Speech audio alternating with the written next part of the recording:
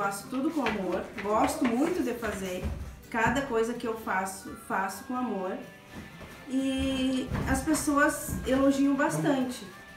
Então eu acho que eu faço, o meu diferencial é o amor que eu coloco nas minhas coisas. Eu comecei porque o meu marido ficou desempregado e eu não podia trabalhar fora por causa dos meus pequenos, né?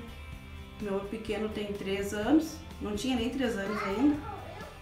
E, eu tinha que fazer alguma coisa, fora eu não podia ir. Então, como eu já fazia bolo há muito tempo, fazia bolo, mas assim, fazia só para casa, para amigo, para quem me pedia. Aí eu disse, não, tá na hora de arregaçar a manga e, e foi. Aí eu comecei fazendo, anunciando, fiz a página, aí fui anunciando que eu tava fazendo, fiz cartãozinhos. Aí começou a fazer, daí o pessoal começou a gostar.